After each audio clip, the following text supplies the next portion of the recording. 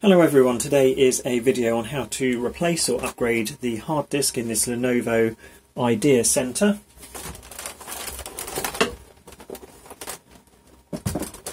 And its model number is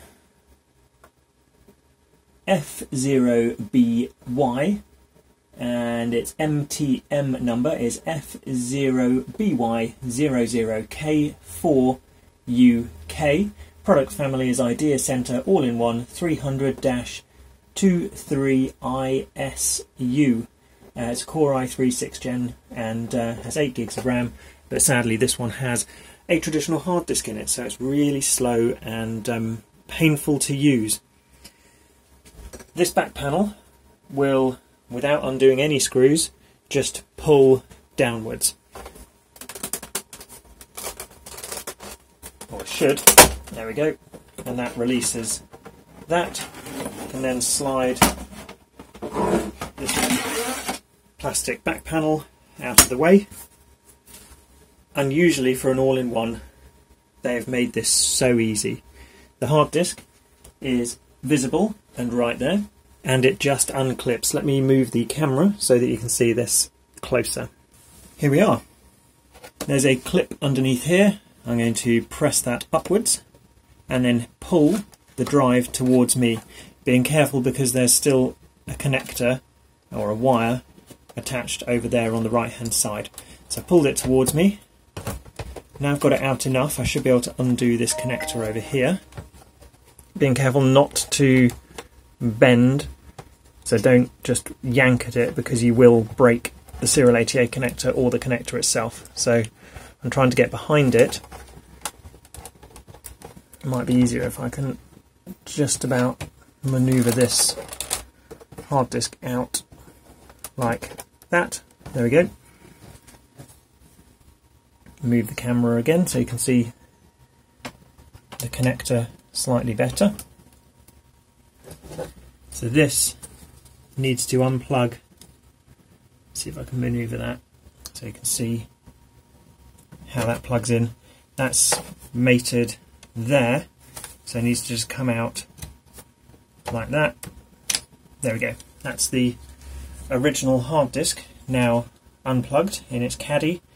And if you're going to be putting in just an SSD, it doesn't really matter about being in a caddy and all secure so that it doesn't rattle around because there's no moving parts in an SSD. So for what I'm going to do, I'm just going to plug the SSD in and maybe put the caddy without the hard disk back in there, but I'm not going to find a way to securely mount the SSD in this caddy because for an SSD it doesn't matter and because this isn't a laptop it's not going to be moved around so the uh, the drive potentially rattling while you're uh, moving the machine around say moving it from one desk to another isn't really going to happen often at all. So there's not much point screwing the SSD in. It's up to you on that one.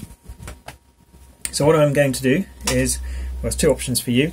You can put an SSD in and then use a Windows install USB, which you'll have to make either before you take the hard disk out or using another computer, and then install Windows from fresh on the um, the new SSD but it does mean that all your data will need copying over manually or you would have had to have backed it up and then you copy it onto it onto the new machine or the new SSD after or you can use a disk cloning tool to clone the hard disk onto the SSD and uh, then you don't have to have any changes to your data at all. I would recommend there used to be Macrium Reflect free for home use, but that no longer seems to exist. They do still do a demo, a 30 day trial uh, for home use, which you can definitely just clone the drive and then if you're never going to use it again, you've used the 30 day trial and that works well. Um, so what I'm going to do is I'm going to clone this using a cloning tool and the next thing you'll see is I'll be back and I'll be putting the SSD into the machine again. So see you on the other side. Here's another useful uh, tip to remove this this hard disk from its existing caddy. You just use a bit of force to pull this pin out from there and then say that pin out from there. I'm just going to keep doing that to walk it up to the edge and then I can lift it out of its caddy. That's the hard disk released. There's a metal shield there, which um, I'm not. Maybe I will put back into this caddy. How's it going to get? It could be held within that caddy when I put the SSD in there, but again, that's how you uh, remove the actual drive from the plastic caddy. Right, I'm back, and there's the SSD that I'm going to put in with the data on it. I did remove from the back of the hard disk the metal plate because mm, why not? Just in case somebody ever wanted to put a five and a half inch drive back into this thing in the future.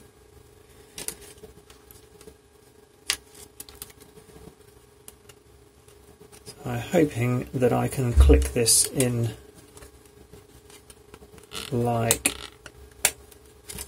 that. That keeps that in place. Then I'm going to plug the SSD in, hope that that will slide into there, and then I can clip the, the bracket back into place as well.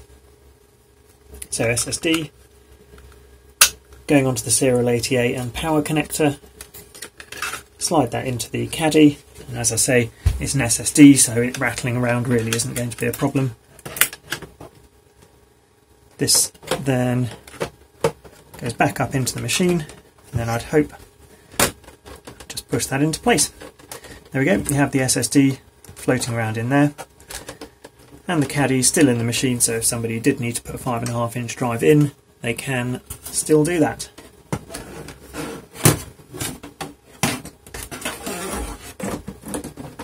Slide the cover back into uh, back along horizontally into place and then vertically upwards. That's now back in place as well. It's going to go and get the power lead for this machine and we can make sure that it turns on and works. Plug the power lead back in, it's going to move this camera back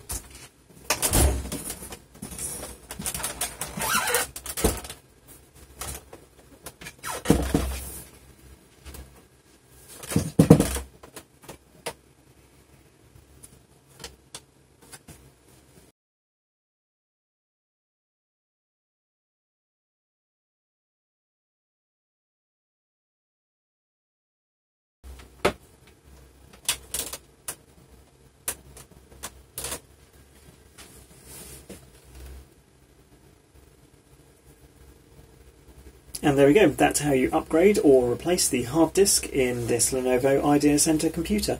If this video has been helpful to you, it would be really helpful to me if you wouldn't mind subscribing to my YouTube channel.